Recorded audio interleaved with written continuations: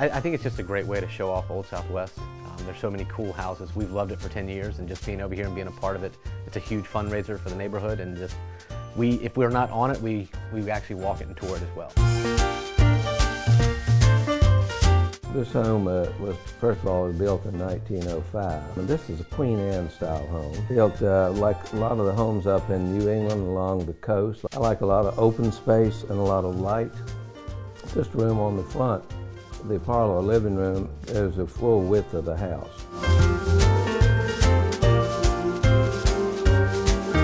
This house is a 1905 Dutch colonial. Um, it has the pitched roof, so it's a little different from like the Queen Anne's and the gingerbread houses.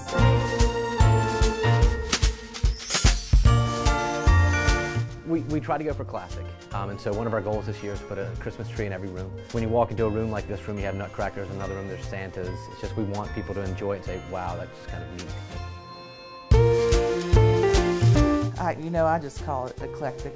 It's just my motto is, if you like it, it matches. I have an interest in the Civil War. Um, I studied Civil War history, and both of my great-grandfathers were served under Robert E. Lee in the Army of Northern Virginia.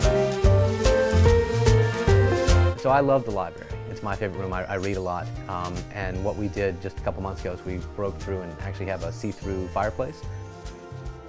A lot of the photos on the walls are um, of relatives. Since the house was built in 1905, to have the antiques that are period around that time just helped to add to the uniqueness of the homes.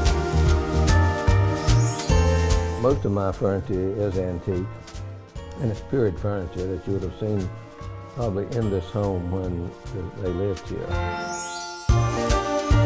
And the dining room set uh, was my grandmother's and her and my grandfather bought it when they first got married. It was uh, $100 for all three pieces back in like 1930. But she saved up her money teaching piano to buy those pieces. So they really mean a lot to me that they were heard. And everything kind of has a story behind it. Yeah.